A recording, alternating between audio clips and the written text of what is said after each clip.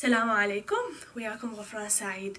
هسه ال part 3 من ال ECG قبل لا نبدي بموضوع ال part 3 خلينا نسوي review بسيطة على البارتين الأولانيين اللي شرحناهم على ال ECG أول شي العالم اللي اكتشف ال ECG أو أول شخص طور ال ECG هو عالم اسمه ويليام اينتهوفن تقريبا سنة 1900 وراها ال paper مال ال ECG شنو ال characteristic مالتها؟ أولا هي thermal sensitive ثانيا راح تلاحظون بيها أكو thin lines و thick lines بال paper مال ECG مثل ما تشوفون ذني thin lines و thick lines. راح تلاحظون بيها عندنا two elements كلش مهمة بال paper مال ECG هي ال time ال speed أو ممكن تقول عليها وال voltage قلنا ال horizontal راح يكون هو ال time بينما ال vertical العمودي هو راح يكون ال voltage هاي المعلومة كلش مهمة دا تشوفون ال vertical راح يكون ال voltage ال horizontal راح يكون ال time وقلنا إنه عرض المر... المربع الواحد مال ECG ال small square بال time اللي هو ال horizontal ال small square راح يكون صفر point صفر أربعة second إذا ال big square اللي هو يحتوي على خمسة small square راح يكون صفر point اثنين second إذا إحنا راح نحتاج خمسة big square خمس مربعات كبيرة من هاي. على مود تطلع عنا 1 second خمس مربعات كبيرة. في كل مربع كبير به خمس مربعات صغار فراح يطلع لنا خمسة وعشرين مربع صغير. خمسة وعشرين مليمتر على second الوحدة. هاي نقدر نعتبرها ال calibration شلون نعاير مالتنا الجهاز مال ECG حاليا. أما ال voltage مالتنا فالمربع الصغير آه راح يكون صفر point واحد ملي فولت إذا راح نحتاج عشر مربعات صغار على مود يطلع لنا ملي فولت واحد. اذا مربعين كبار لين عشر مربعات صغار هي راح تطلع لنا ملي فولت واحد. هاي معلومات حفظوها ومهمة. هاي اللي تخص الورقة من الاي سي جي مالتنا. الاي سي جي قلنا شنو معنى؟ electrocardiogram electro يعني electrical activity cardio of the heart gram نسوي tracing نرسمها visualize ال electrical activity of the heart قلنا هاي الخطوات كلها حكيناها لازم نكتب الاسم والعمر نكتب ال date وال time اللي أخذنا بال ECG لأن هاي النقطة كلش مهمة. نحط ال wires كلها حكينا عليها. النقطة المهمة اللي قلنا ركزوا عليها وحفظوها كلش مهمة هي ال calibration نحط مالتنا الجهاز ال ECG على شنو؟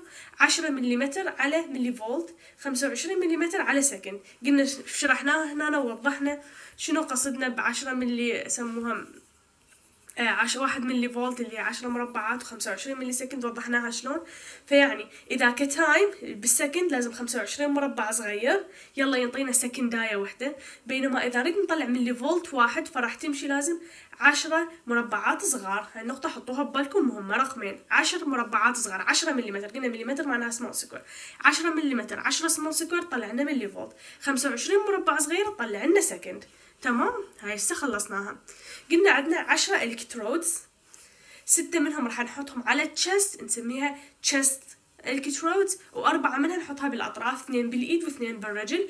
قلنا إنه مالتنا مال الرجل ال right leg راح يعتبر neutral فما راح ناخذه. فتعتبر تسع الكترود عمليا. إحنا راح نستخدم بال ECG وقلنا شلون نشلبها لل آه لل electrodes عن طريق إنه اما تكون self adhesive أو تكون مثل هاي مثل ال pump أو هاي حكيناها. هسه راح نحكي على ال leads قلنا إنه ال electrodes اللي اشلبها بجسم المريض هم تسعة أوكي؟ بينما هذول التسع ألكترودات راح تطلع لي 12 lead وعرفنا شلون؟ فهسه حاليا إحنا عندنا chest electrodes اللي هم أربعة آه ستة sorry من V واحد لحد V ستة دول راح نشلبهم هنا وعرفنا أماكنهم. ال V 1 وال V 2 راح يكونون بال fourth intercostal space واحد راح يكون بجهة ال right sternal واحد يكون بجهة ال left sternal بهاي ال V1 وال V2 بال fourth intercostal space. بعدين نروح على V4 ال V4 راح نروح بال fifth intercostal space بال mid axillary line عرفنا نحدد ال mid axillary line. وال V3 راح تكون بين ال V2 وال V4 midway. راح نرسم خط بين ال V2 وال V4 ونحط ال V3 بالنص بيناتهم. ال V5 قلنا هم بال fifth intercostal space بس وين بالضبط؟ راح تكون بال anterior axillary line. وال V6 هم كذلك بال fifth intercostal space بال mid axillary line وعرفناهم ذول ال chest electrodes وين نثبتهم بهاي الأماكن. وعرفنا شلون نحدد ال fourth intercostal space وذني السوالف كلها. أما بال electrodes مال ال limb اللي راح نجلبها بالأطراف فقلنا الحمراء راح نعتبر ال right arm الصفراء ال left arm والخضراء ال left leg وال right راح نعتبره neutral محايد أصلا ما راح نشلبه. يعني ما راح نحتاج إنه نستعمله لأنه هو محايد اذا راح يكون عندكم تسعة. ستة بال chest وثلاثة راح نشلبهم بال limb. ايد ال right وال left وال left leg ألوانهم حطوها ببالكم. وهذول ال electrodes. وقلنا هنا شلون نقدر نعرف ال clavicular lines وهذا السوالف كلها حكينا عليها. وذول همين حكينا عليهم. هاي. هسه حكينا على موضوع مهم كلش إنه إحنا ال ECG لازم ال patient مالتي يكون relaxed ما يصير يتحرك لأنه أي muscular activity راح تأثر لي على ال reading مال ال ECG هاي همين فهمناها وشرحناها هسه راح نجي على موضوع مهم خلوه ببالكم وركزوا عليه.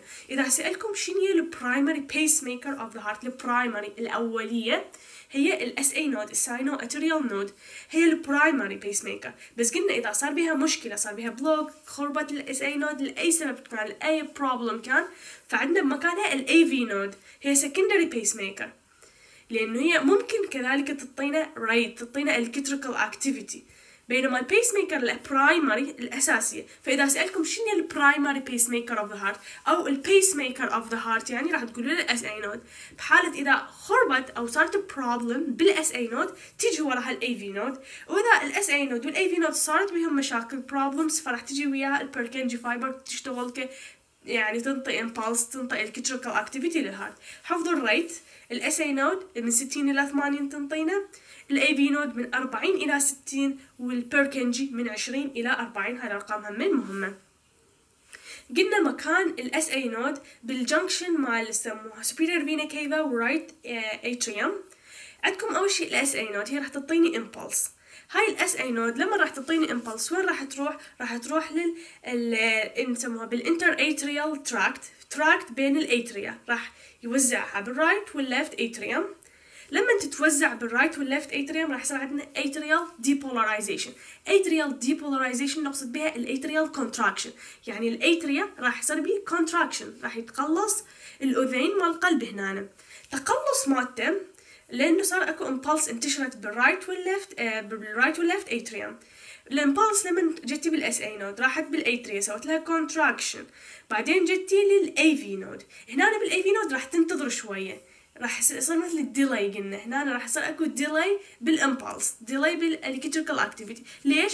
على مود تنطي فرصة إنه ال atria يصير بها contraction والدم ينتقل من ال atria لل ventricles هاي نقطة مهمة delay station نعتبرها. بال AV node هنا راح تبقى شوية وبعدين تتحول. لما تجي راح تروح هنا لل bundle of His من ال bundle of His راح تروح لل right bundle branch وال left bundle branch ال right bundle branch هذا وال left bundle branch حطوا ببالكم شغلة كلش مهمة. هاي حطوها معلومة لأنه ممكن تفيدكم بعدين يعني. ال septum ال interventricular septum اللي هو ال septum اللي يفصل بين ال right ventricle وال left ventricle منو اللي يغذيه بالضبط؟ يعني منو يغذي؟ SA AV node bundle of His ال left bundle branch بالتحديد. اللي يغذيه ال septum راح يغذيه ال left bundle branch ال left تشوفون هذا ال left bundle branch يعني إذا قلت لكم إنه ال septum منو يغذي بالضبط؟ منو ينطي ال impulse فهو ال left bundle branch مو ال right مو اثنيناتهم. فقط ال left bundle branch راح يغذينا ال septum ينطي electrical activity على مود تصير بال contraction فيعني اللي راح يصير هو أول شيء تجي ال electrical activity تجي بال septum عن طريق ال left bundle branch بعدين تجي بال apex مال heart من هنا راح تنتقل وبعدين تصعد لفوق تروح لل base of the heart من هنا ومن هنا. النقطة المهمة اللي حطوها ببالكم إنه ال right bundle branch هو بي branch واحد هو هذا. رأس نروح لل right ventricle أما ال left bundle branch فبي anterior fascicle و posterior fascicle. هاي المعلومة حطوها ببالكم يعني إنه شنو؟ ال right bundle branch رأسا يروح ال Purkinje fibers بينما ال left bundle branch راح ينقسم إلى anterior fascicle و posterior fascicle. يلا تروح لل Purkinje ورا Purkinje تروح للليفت ventricle تسوي له depolarization يعني تسوي له contraction. هاي المعلومة بعدين راح نستفاد منها وراح نحكي عليها بال slideات الجاية فخلوها ببالكم. إنه ال left bundle branch بي branch راح ينطينا anterior و posterior fascicle. فوراها لما انتقلت هنا راح يصير اكو depolarization يعني لما ال Purkinje fiber وصلت ال impulse لل ventricle كله ال right وال left راح يصير عندنا contraction. هسه راح تسألون إنه إذا هي ال impulse أول شيء جتي لل septum بعدين بال apex بعدين بال basal هنا مو راح يكون اكو تفاوت المش... الشغلة إنه ال ventricular depolarization عملية ال depolarization اللي تصير بال ventricles عملية سريعة. فيعني صح هي راح تبدي أول شيء بال septum وال apex بعدين بال basal بعدين هاي الأطراف مال هاد بس لأن هي عملية سريعة فراح يصير ال contraction مال ال ventricle كله مرة واحدة. يعني ال ventricles مال هاد كله يعني كله على بعضها مرة واحدة يصير بيه contraction على مدير الخدمة. أكو شغلة مهمة حطوها ببالكم إنه خلال عملية حدوث ال ventricular depolarization يعني ال ventricular contraction يعني ال ventricles ما تدي يصير بيها contraction راح يصير at the same time ال atrial repolarization ال relaxation أنتوا حطوا ببالكم شغله مهمه repolarization يعني تبدي بالار repolarization. هي نفس عمليه ال relaxation يعني لما يصير عندي repolarization معناها يصير عندي relaxation. فخلال عملية أول شيء صار عندنا atrial depolarization. ال atria يصير بها contraction. وراها يصير عندي ventricular depolarization. Ventricular depolarization contraction بال ventricles at the same time لما أنا عندي contraction بال ventricles يصير عندي relaxation بال atria بس لأنه قوة ال contraction مال ventricle وال size مالتهم وال impulse كلها راح تسوي mask راح تخفي راح يعني شلون راح تشوش بحيث ما, نقدر إحنا نلاحظ ال relaxation اللي يصير بال atria بسبب قوة ال contraction اللي يصير بال ventricle. ورا ما صار contraction بال ventricle relaxation بال atria يتبعهم يصير اكو relaxation بال ventricles فاذا إذا قلنا لكم شنو هي العمليات الأساسية الثلاثه اللي تصير عندنا بال heart atrial contraction بعدين ventricular contraction. ما قلنا أكو atrial relaxation ليش؟ لأنه قلنا ال ventricular contraction أقوى فهو راح يغطى عليه. ف atrial contraction بعدين ventricular contraction وراها ventricular relaxation. تمام؟ هاي المعلومات حطوها ببالكم هذا التسلسل حلو ها؟ حطوه ببالكم هذا الخط الأخضر شنو؟ هذا الخط الأخضر نسميه ال axis المحور. الم... شنو نقصد بالمحور؟ هو اتجاه حركة ال impulse اتجاه حركة ال electrical activity ال SA node تبدي من جهة ال right دا تشوفون؟ تبدي من هنا هي هاي مكانها. تبدي من هنا تنطي impulse وراح تجي ال impulse هيجي. فهذا اتجاه حركة ال electrical impulse بالقلب. اتجاه حركة ال electrical activity بالقلب. هذا الخط حطوه ببالكم مهم لأنه بال slideات الجاية كلش راح يفيدنا. فإذا اتجاه حركة ال electrical activity بالقلب راح يكون من جهة ال right downward لجوا باتجاه ال left هاي المعلومة حطوها ببالكم مهمة. حكينا على هاي السوالف وراح يصير عندنا صوديوم influx عملية ال depolarization بعدين راح يصير عندنا بوتاسيوم influx بعملية ال repolarization ال contraction وال relaxation together هي راح نسميهم عملية ال action potential اللي تصير لنا بالقلب. وهاي كلها حكيناها وسولفنا عليها. وهنا هم افتهمنا بالجلفانوميتر شلون إنه أي سموها لما نجيب إحنا myocardia من القلب مالتي أربطها بجلفانوميتر لازم أكو قطب سالب وقطب موجب. وقلنا هنا مهمة هاي المعلومة حطوها ببالكم إنه إذا كانت حركة الشحنات الموجبة خلال عملية ال depolarization قلنا ال depolarization أكو حركة بالشحنات الموجبة صوديوم influx دي يصير عندنا يعني الصوديوم موجب دي يدخل خلال ال cell مالتي فأكو حركة شحنات الموجبة. فلما أكو حركة من اللي يسموها حركة شحنات موجبة باتجاه القطب الموجب فراح يصير عندي positive deflection نقصد بال positive deflection يعني بال ECG راح يكون هيجي يصعد لي فوق. positive deflection لي فوق. أما إذا صار عندنا الموضوع بالعكس مثلا شحنات موجبة تتحرك باتجاه القطب السالب فراح يصير عندنا negative deflection لأنه ليش؟ لأنه شحنات تجي باتجاه المعاكس. هي موجبة الشحنات تتحركنا باتجاه القطب السالب. وقلنا هاي مهمة همين لما نرسم ال ECG لما تشوفون أكو بال ECG مثلا هنا ال ECG مالتكم تشوفون إنه أكو صاعد مثلا وبعدين نزل. فهنا هنا بتعرفون أكو positive deflection هنا أكو negative deflection. معناها هنا شحنات موجبة تتجه باتجاه القطب الموجب. هنا لا الشحنات الموجبة تروح باتجاه القطب السالب. فهاي مهمة حطوها ببالكم. وبعدين قلنا إنه إحنا عندنا نوعين من ال leadات اللي نربطها بالجسم. آه sorry قصدي نوعا من الليدات مو من الألكترودات. الليدات قلنا هي آه سموها راح تطلع على ال ECG لما عندنا ورقة ECG هنا مثلا خلينا نطلعها. راح تشوفون عندنا leadات 12 lead lead 1 lead 2 lead 3 اللي يسموه بعدين اي في ار اي في ال اي في اف وبعدين قلنا من V 1 إلى V 6 قلنا من V 1 إلى V 6 ذولا شنو قلنا نعتبرهم chest leads ذولا مثل ما هم القراءة مالتهم تطلع نرسمهم على ال ECG بينما ال augmented voltage قلنا هذولا نعتبرهم نوع الاخر بينما ذولا نعتبرهم unipolar ال augmented وذولا نعتبرهم bipolar اللي هو lead 1 lead 2 lead 3 فهسه خلينا نرجع. على مود نركز عليهم أكثر. قلنا عندنا نوعين من الليدات ال transverse وال coronal plane. transverse قلنا لأنه راح تكون بمستوى يعني مثل كلها بمستوى القلب يعني راح تكون. فيعني مثل ما ناخذ transverse section يعني نقطع من هنا مثلا ونجي نرسمه هيجي فراح تشوفون إنه عرض نقدر ناخذهم. فمن V 1 لحد V 6 وعرفنا أماكنهم. وهاي هاي الشغلة. بعدين قلنا عندنا ال coronal plane اللي هي لما نقطع يعني بسموها بالطول راح يكون عندنا اثنين أنواع من الليدات bipolar leads و unipolar leads قلنا ال unipolar مثل augmented voltage left augmented voltage right augmented voltage foot. وال bipolar قلنا عندنا lead 1 lead 2 lead 3 وعرفنا اللي يسموها ال bipolar lead اللي هي من اسمها bipolar يعني قطبين أربطهم سوا عندي. فال lead 1 راح يكون بين ال right arm وال left arm قلنا ال right arm نعتبرها ال negative وال left arm نعتبرها ال positive فيعني هنا تشوفون إنه الشحنات الموجبة تتحرك من هذا الاتجاه فراح يكون موجب. Lead one always positive. هاي النقطة مهمة. Lead one always positive. ليش؟ لأنه إحنا ال axis مال heart هيجي والشحنات الموجبة تتحرك هيجي من الرايت ارم للليفت ارم هذا اعتبروه ال axis مال heart مالتكم. هذا اتجاه. فأنتوا هنا الرايت ارم للليفت ارم شحنات موجبة تتحرك هيجي وهذا positive يعني شحنات موجب ما تقدر تتحرك باتجاه القطب الموجب.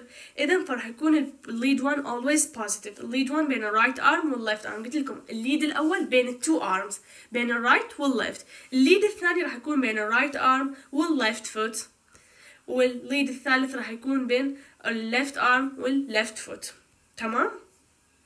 وطبعا حطوا ببالكم إنه ال lead هذا بين ال right arm وال left foot هم راح يكون positive اللي هو ال lead الثاني.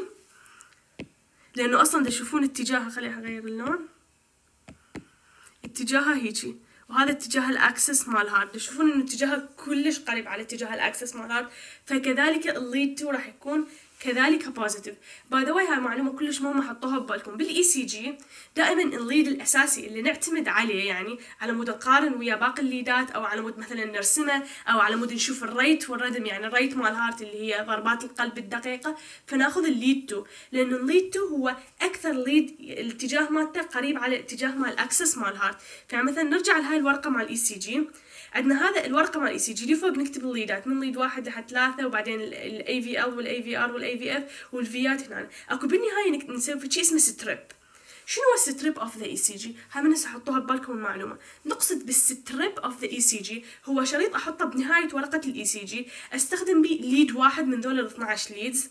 اني أختاره. usually يختارون ال lead الثاني. سبب اختيارهم للل lead الثاني لأنه هو أكثر lead اتجاهه قريب لاتجاه مال axis مال heart فيختاروا. ليش نحط بالنهاية في ال lead ونظل نعيد بيه ونظل نكرره؟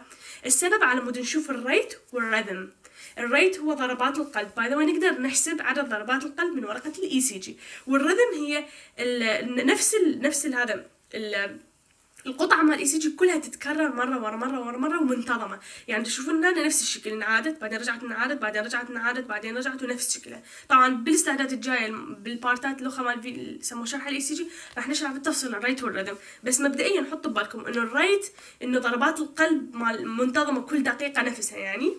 وال rhythm إنه هي نفس هاي مال ECG نفس القطعه مال ECG تتكرر كل مرة نفسها. يعني ماكو خربطة بال ECG فيا lead أكثر شيء نستخدمه قلنا lead two طبعا by the هنا أكو كان غلط بالملزمة فصححوها.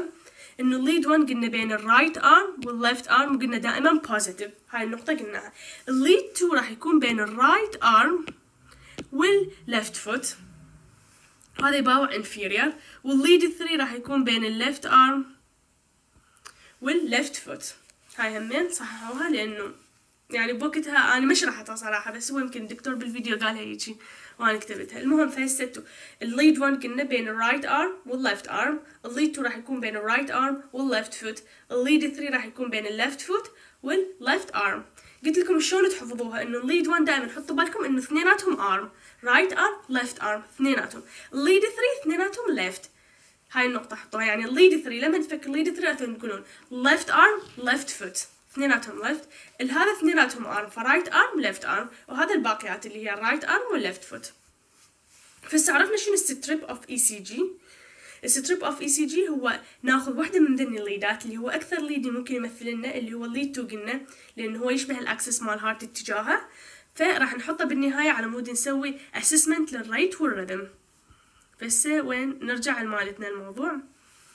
قلنا هنا عندنا ال lead 1 بين ال right atria بين ال right arm وال left arm راح يكون من اتجاهها ف positive سموها ال lead 2 راح يكون بين ال right arm وال left foot وراح يكون كذلك positive وقلنا أكثر واحد مهم وإحنا نحب نستخدمه بال ECG ونحطه بال strip مال ال ECG وعندنا آخر واحد ال lead 3 اللي هو بين ال left arm وال left foot هذا همين كذلك راح نعتبره positive راح يصير positive لأنه همين اتجاه الشحنات همين إن downward تشوفون اتجاهها downward مو عكس الاتجاه. ال lead اللي راح يكون عندنا positive ال negative هو ال AVR تشوفون هذا اتجاه خلي احطه غير لون هذا اتجاه ال axis مال heart ينزل جوا ال AVR اللي فوق. فال AVR راح يكون negative شنو نقصد إنه ال AVR راح يكون negative وين الورقة مال ال ECG هنا مالتكم. تشوفون ال AVR مالته negative نازل جوا. تشوفون؟ مالت هذا ال QRS يعني هي ال deflection مال ECG اللي يسموها النزله مال ECG الرسمة مال ECG نازلة جوا. بينما مثلا ال AVL لي فوق تشوفوها؟ هاي صاعده لي فوق خليني نكبر حتى تركزون بها. قلنا ال lead 1 positive تشوفوا لي فوق صاعده ال lead 2 positive صاعده ال deflection لي فوق. ال lead 3 positive صاعده لي فوق. بينما هنا ال AVR negative جوه. ليش؟ لأنه قلنا حسب إنه القطب الموجب والقطب السالب. اتجاه حركة الشحنات الموجبه ما تقدر تروح باتجاه القطب السالب. هاي النقطة خلوها. ال AVL تشوفون لي فوق صاعده ال AVF لي فوق صاعده تمام؟ هاي حطوها ببالكم معلومة. نرجع لمالتنا يعني قلنا ال lead 1 وال lead 2 وال lead 3 راح يكونون positive وشفناها بورقة ال ECG شلون صايرين؟ positive صاعدين لي فوق. يعني deflection مالتهم صاير لي فوق. لأنه شحنات موجبة باتجاه القطب الموجب تصير عندنا. وال AVL همين شحنات موجبة باتجاه القطب الموجب لأنه هذا ال axis مالتنا. ال AVF همين موجبة لأنه همين قريبة على ال axis مالتنا. بس ال AVR اتجاهها عكس ال axis مالتي. عكسه نهائيا يعني هذا ال axis مالتي من هنا نازل downward و left هذا صاعد right و upward. فراح يكون negative deflection. راح يكون مثل هذا تشوفون جوا نازل. negative deflection لأنه شحنات موجبة تتحرك باتجاه القطب السالب. الشحنات الموجبة تتحرك من هنا بينما هي شنو؟ إنه هاي من هنا الشحنات الموجبة ال axis مال heart تصير. ال axis مال القلب من هنا أنا تتحرك مالتي بالعكس.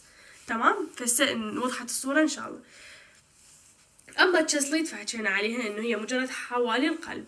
قلت لكم قبلها قلنا إنه عندنا AVL و AVR و AVF قلنا ال AVF معناها ال foot نربطها بقطب وحدها وال right arm وال left arm نربطهم بقطب وحدهم ونربطهم بالجلفانوميتر.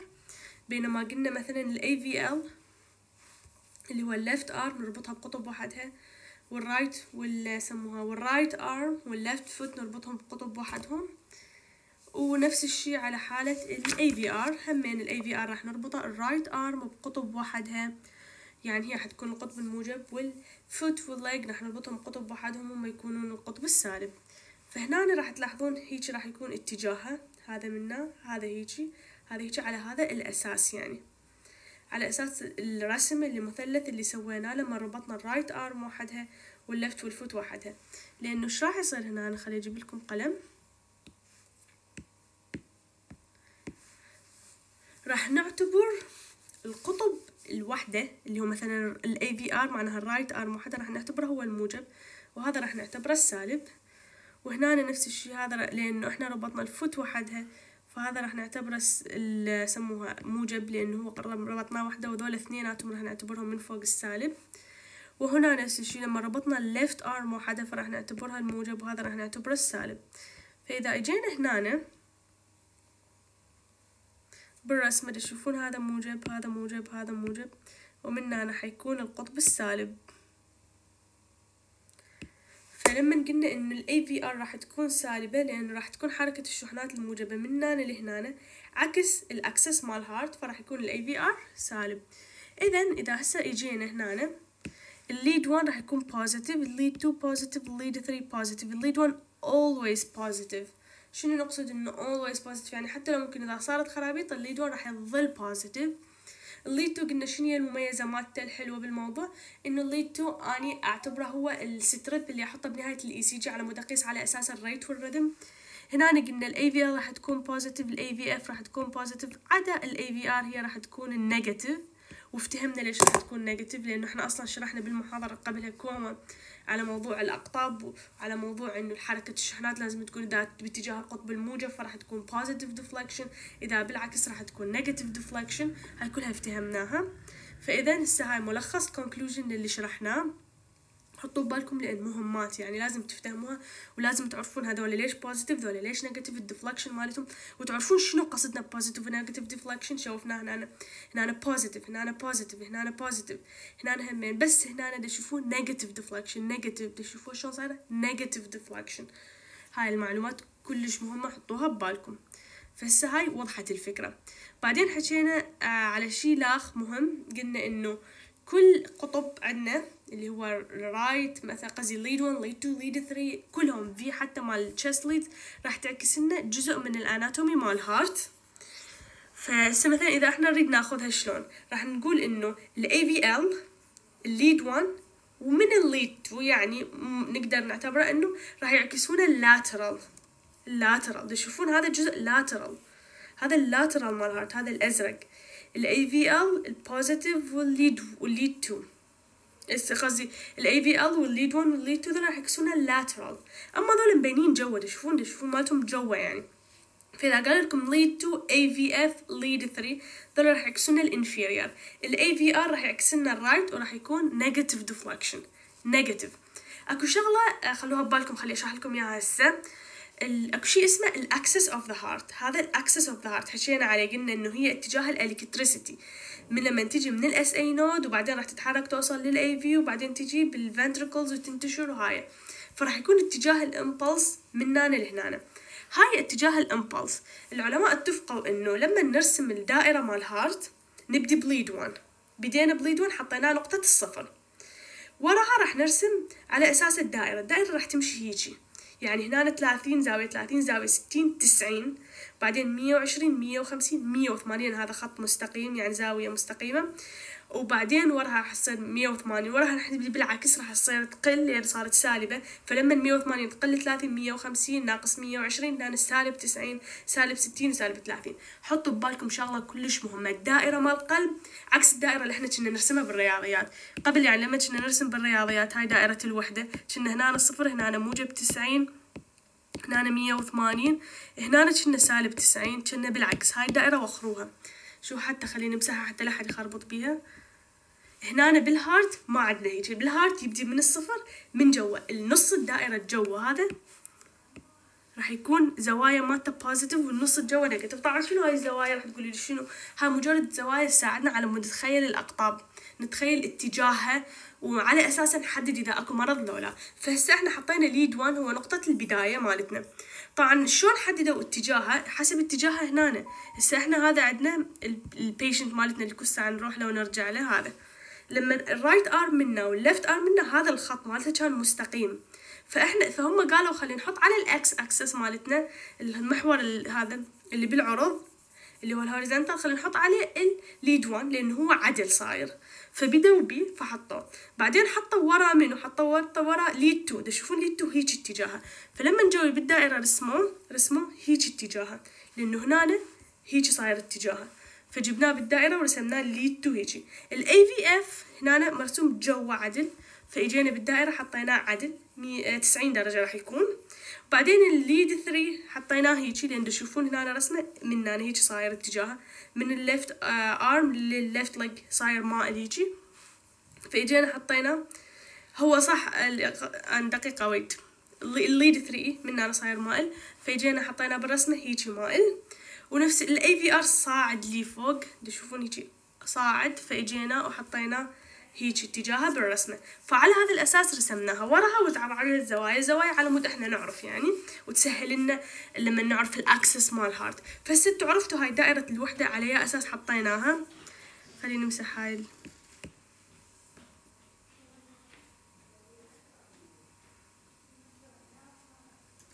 على مود لا تخربطنا. فهسه عرفتوا على يا أساس دائرة الوحدة من هنا تبدي من الصفر وبالعكس تصير ثلاثين ستين تسعين وتصعد لي فوقها. هنا عندنا شيء اسمه ال axis of heart اللي هي التجمع مال الأقطاب مال heart وين راح يصير؟ راح يكون يمتد بين سالب ثلاثين لحد positive مية وعشرين. هاي دخول الرقم الرقم دخول هذا من سالب ثلاثين و positive مية وعشرين. هنا أي شيء normally أي قطب راح يكون بين سالب ثلاثين لل positive مية مية وعشرين بين هاي الزاويتين بالدائرة مال heart راح يكون normally حطوا بالكم ركزوا على كلمة normally راح يكون positive deflection. deflection مالته لي فوق راح يكون. يعني بال ECG راح يشوفوا يجي ال deflection مالته positive بين السالب 30 و 120 ال aVR طالع منها فراح يكون مالته negative ف normally يعني بالحالة الطبيعية حالة ال heart ال normal اني جبت ECG مال شخص normal. ما بي اي مرض راح تشوفون ال aVR negative negative والذني بقت positive ليش ذولة positive لأنه ضمن ال axis مال heart. فإذا قال لي ال range مال ال axis مال heart اللي هو شنو قصدي بال axis هذا؟ هنرسمه بفد شي أوضح هذا. ال range مال axis مال heart راح يكون بين سالب ثلاثين إلى positive مية وعشرين لأن هي الكهربائية مال القلب راح تنتشر هيجي تجي وبعدين تصعد هيجي فراح تكون بين سالب ثلاثين إلى positive مية وعشرين هاي كلها. فالأقطاب مالتي راح تتوزع هنا أي في ال واحد اثنين ثلاثة ال aVF هنا وحتى الأقطاب ال V ات همين من V واحد إلى V ستة كذلك همين. وطبعا ماكو صورة هنا حاليا الموضوع بس همين راح تتوزع. ضمن هاي الدائرة نفس يعني ضمن الدائرة مال الوحدة راح تكون همين between السالب ثلاثين ال positive مية وعشرين. كذلك التوزيع مالتها راح يكون هنا همين راح تكون ضمن يعني هنا همين راح تنرسم. يعني ضمن هذا ال range بين سالب 30 إلى positive 120 فهذا عرفوا إنه ليش بدينا ال lead واحد هو صفر؟ لأن هو كان مستقيم عدل يعني من هنا فإجينا وحطينا أول واحد وخليناه خط الصفر وعلى أساسه بعدين بدينا وزعنا ال lead ات الأخرى ال aVL قبله ال aV 2 ورا ورسمنا دائرة مال القلب. ال axis مال heart. قلنا ال lead ات normally راح تكون موجودة بين ال range سالب 30 إلى positive 120 بالزاوية مال heart. يعني هيجي راح تكون وهيجي لأنه ال axis مال heart من هنا اتجاهها وراح يتوزع هيجي. فهاي فهمتوها تمام؟ ال aVR راح يكون negative لأنه خارج ال axis مالتنا برا ال axis مالتنا اللي هو بين سالب 30 بس هو ال aVR normally راح يكون negative إذا هو ال aVR normally negative هذا إيش راح يفيدنا؟ هذا راح يفيدنا إنه نعرف اتجاه ال heart. أكو أشخاص عندهم فد حاله مرضية اسمها dextrocardia اللي هي القلب يكون معكوس. فبهاي الحالة ممكن راح يشوفون إنه ال aVR مالتهم صاعد موجب. فبهاي الحالة راح تشكون إنه هذا الشخص معناها القلب مالته معكوس اتجاه القلب بحيث إنه ال aVR مالته صايرة موجب. طبعا هاي حالة نادرة وإذا شافوا إنه ال aVR سموه positive مرات المفروض يعيدون ال ECG إلا كم مرة عادوا شافوا بكل المرات طلع لي موجب. وهاي معناها ممكن إنه هذا المريض مالتكم عنده حالة إنه القلب مالته بالعكس مو بال left side بال right side صاير. المهم بس يعني خلوها ببالكم بس المعلومة. بس in general ال axis مالها تحفظوا له الرقم بين سالب 30 إلى positive 120 اتجاه الحركة مال ال impulse مال heart راح يكون هذا مالتنا السهم. وال aVR ال aVF عرفناها بشنو عرفنا أنواع. بقت بس شغلة واحدة مهمة حطوها ببالكم. إنه إنه قلنا هي تعكس ال anatomy مال heart بقت إن الذني ال V1 و V2 قلنا راح تعكس لنا ال anterior وشوية من ال right ventricle ال V3 V4, V4 بين ال anterior وال septal وال V5 V6 راح تعكس لنا ال lateral وال ventricle هسه خلينا نجي صورة حتى نوضح لها هنا.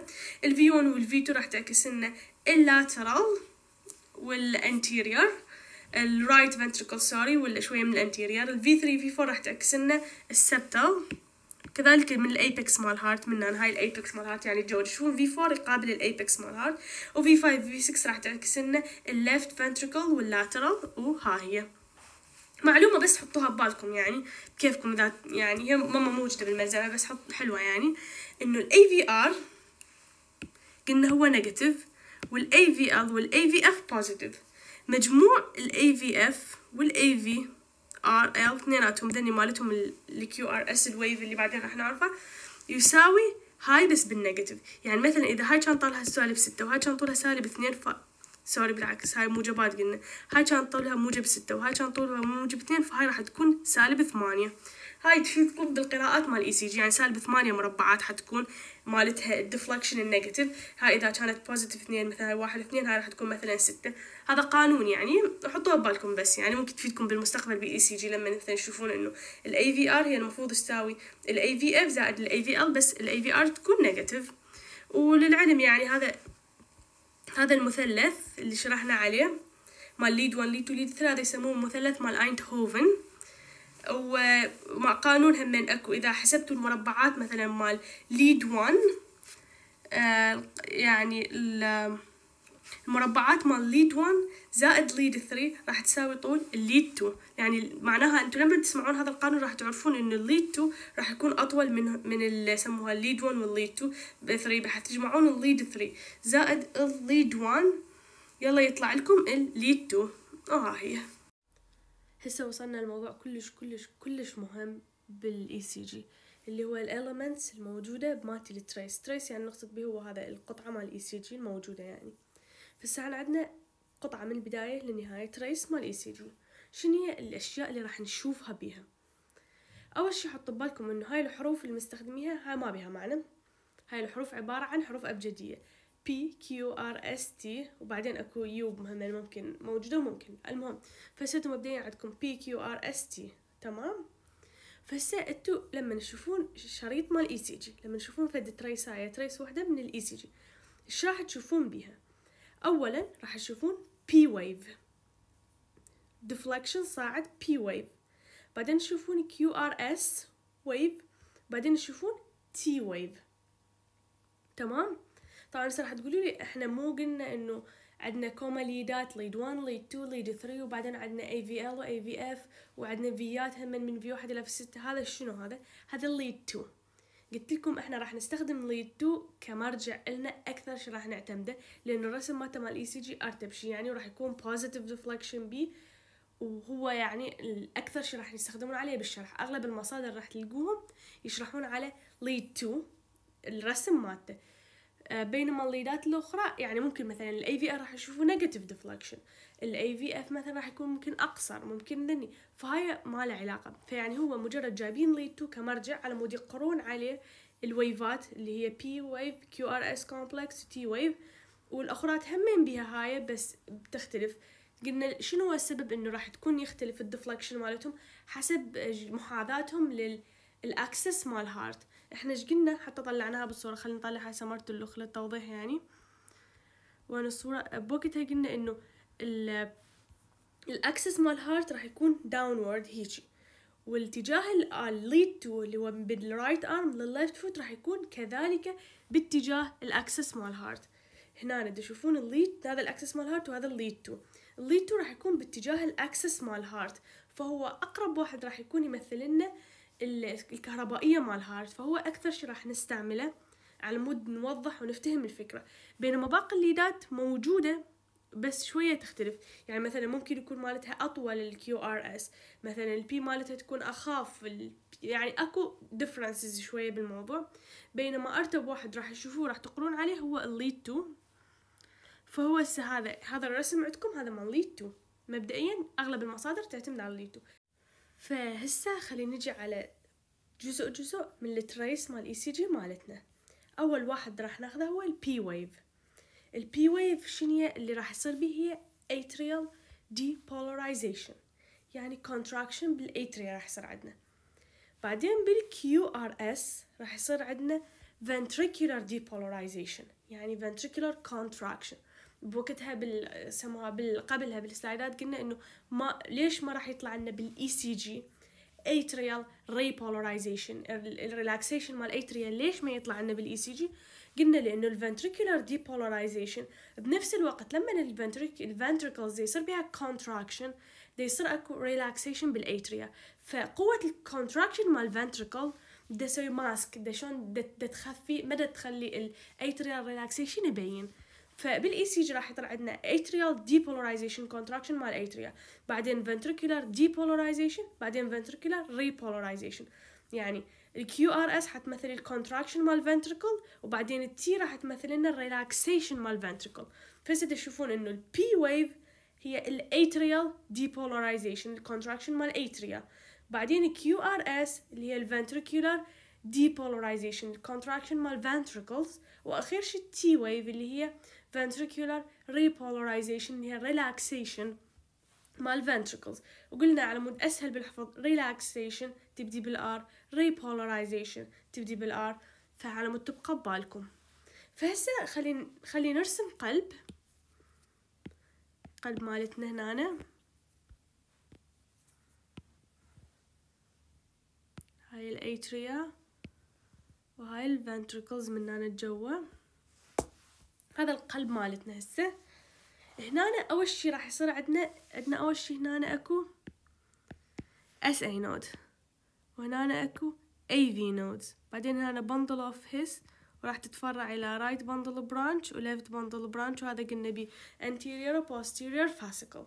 فاللي راح يصير عندنا ال SA node راح يسوي لنا fire يعني راح تجي ويسوي لنا impulse electrical activity. راح تسبب إنه contraction بال atria فأول شيء راح يصير عندنا بال ECG طبعا هنا ماكو شيء هذا يسموه isoelectrical line isoelectric يعني يعني مثل خط ال ECG متماثل. يعني ايزو متماثل يعني خط عدل. isoelectric line لأنه ما كان أكو شيء يعني كانت القلب يعني واقف يعني شو متوقف. ما ما بي حركة بالالكترونات لأن قلنا إنه ال movement of charges هي اللي راح تسبب لنا هاي ال deflection اللي يصير بال ECG فلما ماكو movement بال charges هنا خط isoelectric line جت ال SA node وسوت لنا electrical impulse حفزت ال atria سوت بها contraction جت ال P wave ال P wave حتمثل لنا ال contraction اللي صار بال atria راح تشوفوها شوية وايد تعتبر لأنه هي شوية يعني ال atria تاخذ شوية تايم لما يصير بيها depolarization يعني هاي تعتمد على ال conduction system مالتها in general ال speed اللي تنتقل بها شوية حتكون أبطأ من ال ventricles ال ventricle يعتبر من الناقل مالته ال Purkinje تعتبر سريعة. فتنتقل بها أسرع. فتشوفون إنه ال QRS اللي هي ال ventricular depolarization مع إنه ال ventricle أكبر وبي septum وبي base وبي ذني راح تكون كلها هالقدوتي بينما هاي تأخذ مسافة من هنا إلى هنا. فحطوها بالكم. فأول شي راح يصير عندنا P wave اللي هي ال contraction مال atria لما تجي لل AV node ال impulse قلنا حيصير بها delay شوية فهذا ال delay تشوفون؟ هنا هذا ال delay اللي يخلي ال blood ينتقل من ال atria لل ventricle ويا ال contraction مال ال atria فهسه عندنا ال P wave إيش راح تمثل لنا؟ ال atrial depolarization atrial contraction. ال PR segment اولا شخص راح يسأل ليش ما سميناها PQ segment ليش سميناها PR segment لأن هي مثل مجرد تمثل هاي المسافة. السبب لأنه بعض ال lead ات وكذلك بعض الأجزاء مال ال ECG ال Q ما تبين كلش واضحة. تمام؟ فهم سموها PR وبعدين مشت عليها. فيعني هم يقصدون هاي المسافة بين ال P وال Q يعني هاي المسافة الخط اللي راح يكون بين ال P وال Q يعني مو الخط بين ال P وال R بس هم سموه PR segment segment يعني قطعة. هاي إذا أحد سألكم ال PR segment شو تمثل؟ تمثل ال delay اللي دا يصير بال AV node قبل لا تنتقل ال impulse أو ال electrical activity من ال atria لل ventricle فهسه عندكم ال P wave قلنا atrial depolarization atrial contraction. ال PR segment ركزوا كان كلمة segment اللي هي راح تكون تمثل ال delay اللي راح يصير بال AV nodes بعدين عندنا ال QRS QRS complex. هذا ال QRS complex شو يمثل؟ يمثل لنا ال ventricular depolarization ال ventricular contraction. بس شنو؟ ليش أكو QRS وليش ال R صاعد اللي فوق يعني positive deflection بينما ال Q وال S negative deflection هنا ركزوا وياي الشغلة شوية تحتاج لها تركيز فحاولوا تركزون بيها. خلينا نختار غير لون عمودي يبين. عندكم هذا ال heart ال heart لما يتوزع به ال electrical activity راح يكون على ثلاث مراحل.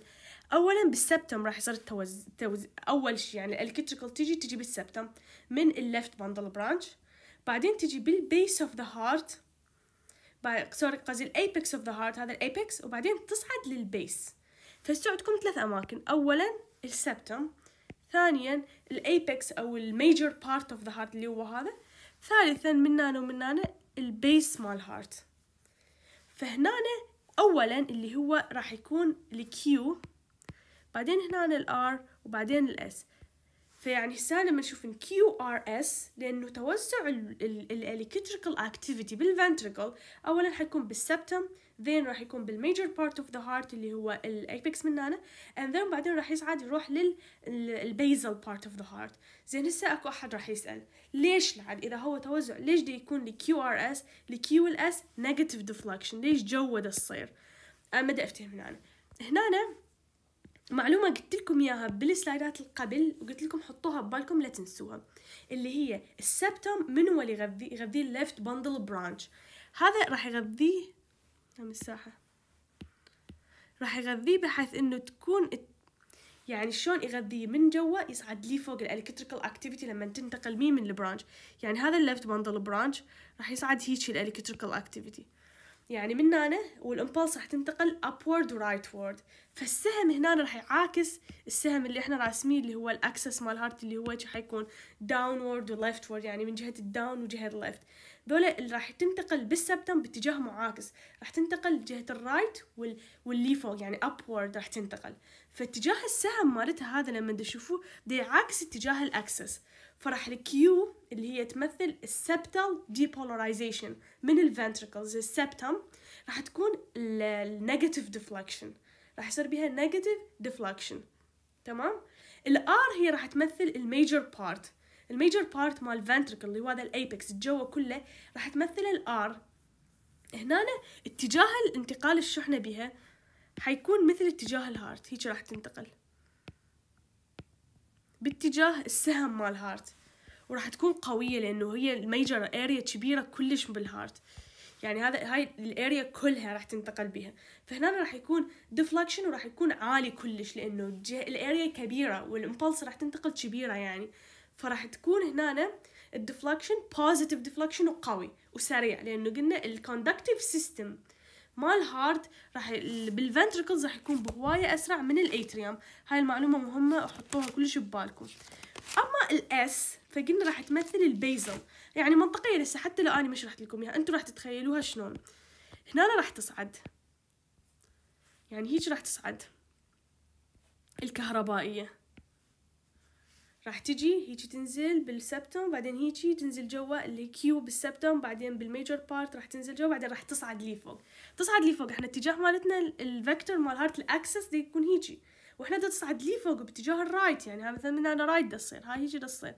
فانتم منطقيا حتوقعها حتكون negative deflection حتصير ال S negative deflection فيعني ليش ال QRS complex ال ventricular depolarization ال contraction مال ventricle بثلاثه wave اللي هي Q و R و S لأنه انتقال الش... انتقال ال impulse بال... بال ventricles راح يكون على ثلاث مراحل.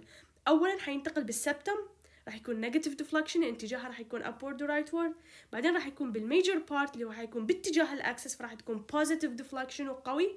بعدين أخير شيء ال S اللي راح تمثل ال basal هاي الأطراف فراح يصعد لها راح يصعد لها ال impulse فراح تكون عكس اتجاه ال axis فكذلك راح تكون negative. تمام؟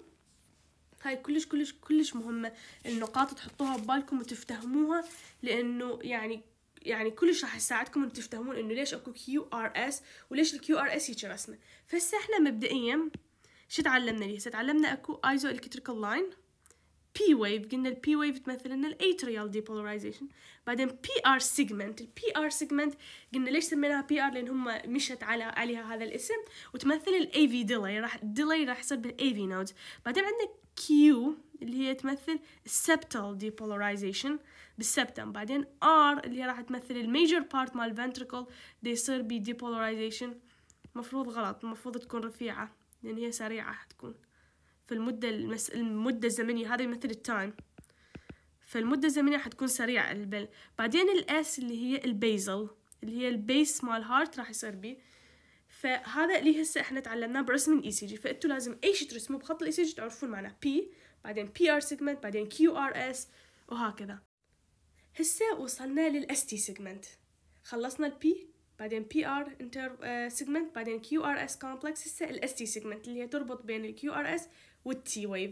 شنو هي ال ST segment ال ST segment ورا ما صار septal depolarization بعدين major depolarization بعدين basal depolarization ال heart ال ventricle كله صار بي depolarization depolarized ال heart كله صار بي ال ventricle يعني كله صار بي depolarized يظل فترة من الزمن هي هاي ال ST segment لما صار كله depolarized completely يعني صار بي depolarized بعد ماكو movement بال ماكو movement بال يسموها بال charges إحنا قلنا حركة ال charges هي اللي تسوي ال deflection هاي عدناها كوما هي اللي تخلي الجلفانوميتر يتحسس. ماكو حركة بال charges اكو isoelectrical line معناها ماكو آه ماكو deflection ما راح يصير عندي waves هنا. فورا ورا ما يصير contraction بال ventricle راح تيجي فترة زمنية قصيرة يعني اللي هي تقريبا 0.1 second هنا راح تكون عبارة عن فترة isoelectrical line فترة إنه ال ventricle صار completely depolarized كله depolarized يعني صار صوديوم influx وكمل وقفت عم وقفت العملية. وراها ورا ما تعبر ال ST segment يعني اذا قال لكم ال ST segment شو تمثل؟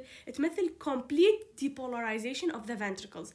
عملية ال depolarization كملت وال heart بعد ماكو movement بال charges لأنه كمل صار septum بعدين صار basal بعدين major بعدين صار basal وها هي خلصت العملية. وراها راح يصير عندنا repolarization عملية ال relaxation وقلنا عملية ال repolarization بوقتها بالمحاضرات اللي قبلها قلنا راح يصير بوتاسيوم efflux فهنا راح يصير عندنا عملية repolarization فاللي هي ال T wave اذا ال T wave شو تمثل لنا؟ relaxation مال ventricles ال relaxation مال ventricles راح يكون تق... مو مثل ال contraction راح يكون كلهم يبدسوا يصير بيهم relaxation يعني ال base مثلا وال apex وال septum at the same time يعني يصير بيهم انه تدخل البوتاسيوم efflux وتصير العملية. فلهاي راح تشوفون اكو wave وحدة مو QRS مو ثلاث وي... ثلاث wave ات يعني. wave وحدة هي ال T wave اللي هي راح تمثل لنا ال relaxation همين إنه يعني راح تكون يعني أبطأ شوية. لأنه البوتاس لأنه ليش راح تكون أبطأ شوية وتطول؟ لأنه شرحناها بالمحاضرة السابقة. أول شيء راح يصير عندنا بوتاسيوم efflux وكالسيوم influx يعني راح يدخل كالسيوم وراح يطلع بوتا... بوتاسيوم فهاي راح يصير فترة مثل البلاتو هنا راح تصير هاي شوية فترة البلاتو اللي هي يعني راح تكون يعني اللي شاف المحاضرة السابقة راح يفتهم إنه راح يصير عندنا تعادل بالشغلات لأن كالسيوم دا يدخل بوتاسيوم دا يطلع. وراها حيصير ال relaxation لأن راح يصير بوتاسيوم efflux الكالسيوم channels راح تنسد والبوتاسيوم يطلع. فراح يصير عندنا T wave اللي هي راح تمثل ال relaxation مال ventricles فهسه خلينا نجي نرسم هنا عندنا ال ST segment وبعدين هنا عندنا ال T wave تمام؟ فهسه شنو هي الأشياء اللي راح يشوفوها؟ شنو هي ال elements اللي راح يشوفوها بال ECG نبدي بالبداية. أول شيء isoelectrical line لأنه ماكو movement بال charges P wave P wave قلنا راح تمثل ال atrial depolarization contraction مال ال atria PR segment وراها اللي راح تربط بين ال P وال QRS ال PR segment حتمثل ال delay اللي حيصير بال AV يعني لما تنتقل ال impulse من ال atria اللي هي بال... لل ventricle راح يصير أكو delay بال PR segment بعدين QRS complex اللي هو إيش راح يمثل لنا راح يمثل لنا ال ventricular depolarization ventricular contraction بي ثلاثة Q و R S ال Q هي حتمثل ال septum ال R اللي هي حتمثل لنا ال major part مال ال myocardium مال ال heart مالتي. وبعدين ال S اللي حتمثل لنا ال basal اللي هي الأطراف. بعدين ال ST segment ال ST segment قلنا راح تربط بين ال QRS وال T إيش راح تمثل؟ راح تمثل لما ال heart يكون completely depolarized completely depolarized. أخير شي راح يصير عندنا؟ ال T wave ال T wave اللي هي حتمثل لنا ال relaxation مال myocardium ال relaxation مال ventricle مالتي. وخلصت هاي. فهسه وراها عندكم هسه خلصنا ذول اللي فوق اللي هي ال P PR segment QRS complex ST وال T wave هسه عندنا شيء اسمه P interval ال PR interval لا تخربطون بين ال PR segment وال PR interval أبد. هاي المعلومة لا تخربطون بين ال PR segment هي segment قطعة من اسمها segment يعني قطعة قطعة صغيرة. حتربط بين ال P وال QRS وتمثل ال AV تمثل ال AV node لما راح يصير بها delay اما ال PR interval ال PR interval من اسمه interval فترة.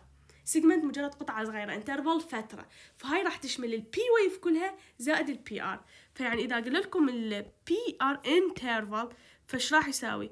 P wave زائد PR segment P wave زائد ال PR segment فإذا قالوا لنا ال PR interval شو يمثل. ال PR interval راح يمثل لنا ال contraction اللي حيصير بال atria زائد ال delay اللي حيصير بال AV node okay؟ بس هاي عرفناها. هسه عن عرفنا أول interval اللي هو ال PR interval اللي هو حيمثل لنا ال contraction يصير بال atria وانتقال لل AV node لما يصير بيه delay okay. هسه عندنا interval لاخ اسمه Q QT interval اسمه QT interval لأن راح يشمل QRS زائد ال T wave QRS complex زائد T wave أنتوا لما تقرون اسم interval راسا تحطون ببالكم فترة. فترة يعني شيء طويل. يعني راح تشمل أشياء هواية. فلما نقول PR interval يعني تفكرين إنه P wave زائد PR segment لما يقول إنه QT interval يعني راح يشمل ال QRS كلها زائد ال T wave فهسه السؤال راح يجيكم.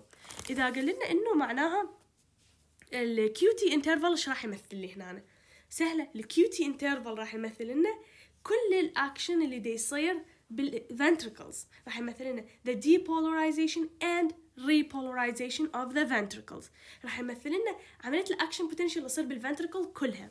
فال QT interval QT interval راح يمثل لنا شكو شي يصير بال ventricle. عملية أول شيء ال depolarization لل ventricle and then ال repolarization عملية ال contraction زائد ال relaxation هذا ال QT interval تمام؟ هاي المعلومة حطوها ببالكم لأنه مهمة. ال QT interval راح يشمل ال QRS زائد ال T wave تمام؟